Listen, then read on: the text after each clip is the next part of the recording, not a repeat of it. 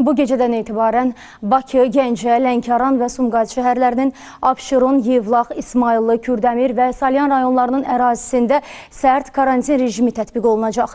16 iyun saat 6-ya qədər sakinlər yaşayış yerlərini və ya olduğu yerləri həyat və sağlamlığa bilavasitə təhlükəli vəziyyət yarandığı halda, eləcə də təxirə salınmaz tibbi yardıma ehtiyac olduğu halda yalnız tibbi yardım xidməti vasitəsilə, ha belə yaxın qohumlarının dəfnində iştirak üçün daxil Daxili İşlər Nazirliyinin növbəçi hissələri idarə etmə xidmətinin 102 xidməti zəng mərkəzi vasitəsilə icazə almaqla tərk edə bilərlər. Fəaliyyətinə icazə verilən qurumlar isə əməkdaşlarını icazə EGOV portalında qeydiyyatdan keçirməlidir. Bütün qurumlara minimum sayda əməkdaşlarına iş icazəsi almaq məsləhət görülür. Karantin rejiminin sərtləşdirildiyi günlərdə xüsusi hallarla bağlı da vətəndaşların qarşılaşdığı problemlərin dərhal aradan qaldırılması üçün qurumların qaynar xətləri gücləndirilmiş rejimdə fəaliyyət göstərəcək göstərəcək.